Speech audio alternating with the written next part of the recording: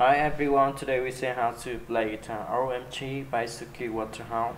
First is the cable in the second frame. The chords in the song are C, G, E, M, D, and A. The first to play down, down, up, up, down, down, down, down, up, up, down, up, down, down, up, up, down, up. And to play along E, M, E, M, G, a.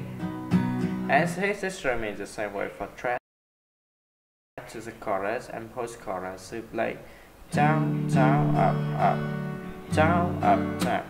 Let's snap. Down, up, tap, up, up, tap, up, down, up, tap, up, up, tap, up. And to play along C, G, G, E, M.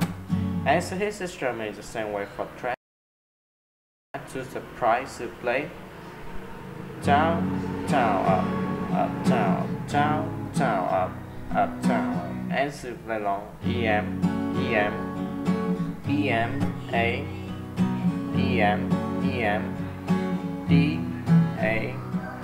As his instrument is the same way for track. Thank you for watching and see you again. Bye bye.